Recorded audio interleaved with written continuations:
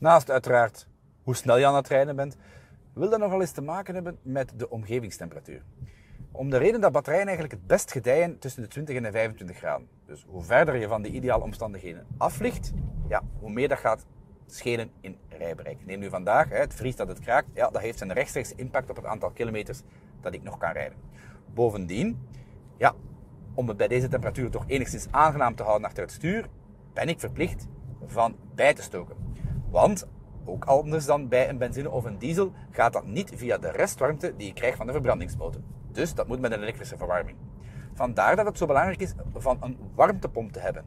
Heel wat constructeurs bieden die vandaag ondertussen standaard aan, maar bij evenveel constructeurs staat dat ook nog op de optielijst. Dus zeker iets om aan te vinken. Hoe dan ook, het allerbelangrijkste is dat je je auto, als hij aan het laden is, voorwarmt dan wel verkoelt, zodat je vertrekt in de ideale condities. Omdat, om die condities te bereiken, je gebruik maakt van de stroom van het netwerk en niet die van je batterij.